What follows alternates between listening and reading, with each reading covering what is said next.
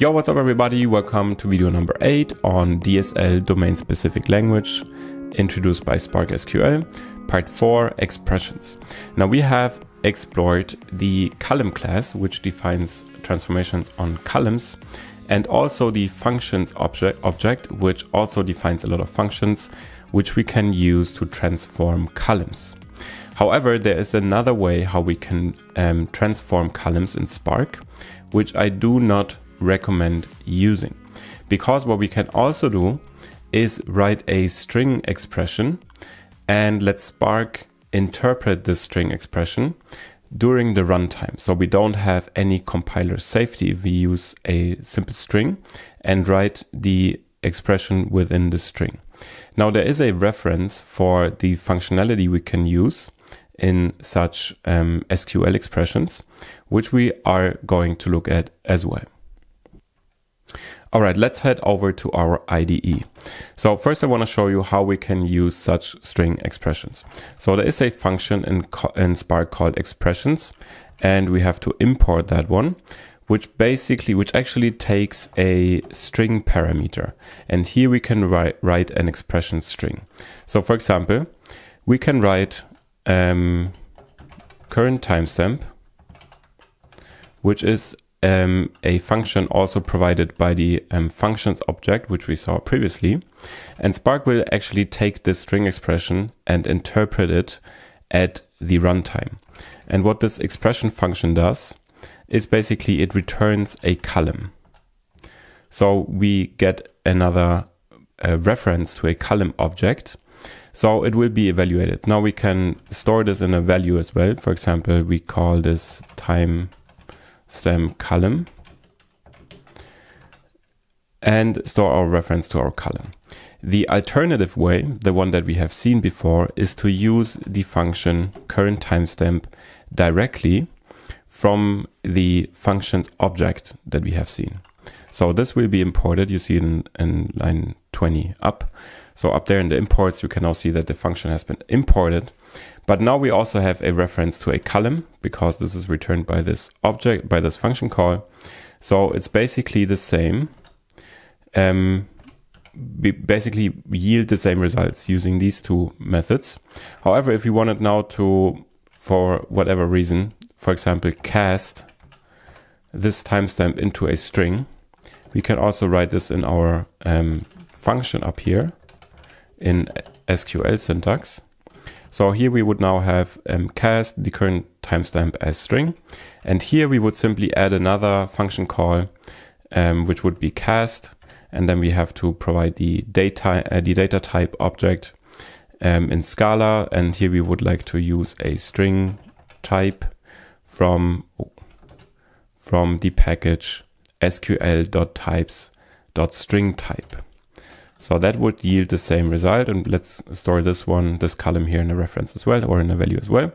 Let's say it's a timestamp uh, from function. From functions, and this one we call timestamp from expression. All right. Now what we can do is to say, okay, on our data frame df, we would like to select these two columns. Timestamp from expression and timestamp from function t exactly. And then let's say print this one. So what we'll get is a data frame having as many rows as our df data frame but only two columns which is two times the current timestamp just created in a different way now what we can also do is, for example, here in our expression, we can also use the as function to assign a new ali alias. So let's call this timestamp expression. And here we simply add another call. And here we say timestamp functions. And if we uh, if we print this data frame out to the screen now, and if we run the application, we will see that we end up with two identical columns. All right, so here we can see that we have two identical columns, which we would have expected. So if I minimize this now, I show, show you the downside of using uh, such a string expression. So if I had a typo here, for example, we call it mistakenly current timestamp for whatever reason, the compiler doesn't complain. So we don't get an error in our IDE here yet because it's simply a string. It doesn't know how to interpret the string. Only once we run our application, we will see an error because this is not a function available in the SQL built-ins in Spark. So here we now get an um, exception. And yeah, if we look at it, it says cannot resolve function current timestamp. And this is the downside of using these string expressions. So let me reduce, uh, let me remove that S here and show you that this cannot happen here because if I wrote current timestamp here, it would tell me uh, immediately that this is not a function it can import, so it has not been defined in our functions object. So we get some compile time safety. All right, so next I want to show you which functions are available um, for these SQL expressions. They are called SQL built-ins in Spark. So let's head over to the browser and then we have the documentation, latest release, that's what you're familiar with. And then we have some API docs here and there's Scala, Java, Python, and so on. And there's also SQL built-in functions. And here you can basically see what you can use within such uh, string expressions. For example, we have used um, current timestamp. Here we go. And it's defined here. So it basically returns the current current timestamp in this format here. That's exactly what it what the function does, implemented by the um, functions object. So what I also wanted to show you is a method called, which we can call on our data frame, which is called select expression. And as you can see here, it takes a variable number of um, string expressions. So from our data frame, we can also use string expressions to select columns. For example, we could say um, cast the column date as string um, or we could also select, for example, the column open plus one. Or we could also use a function here, for example, current timestamp like this. And then print the result to the console once we run it, um, which would yield a data frame having three columns selected and potentially transformed using string or SQL built-in functions. So here we go. So we have yeah, our data frame as expected. All right, another thing I wanted to show you is that we can um, run SQL queries through Spark SQL as well.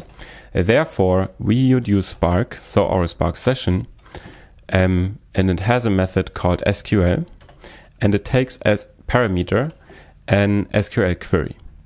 And here, for example, you could write select asterisk from df, where df relates to the table name. However, this um, reference to our data frame value in Scala doesn't work. Therefore, we need to register our data frame as a table name such that Spark can pick it up in the SQL query. And that one we would also like to show so, so that it's printed to the console.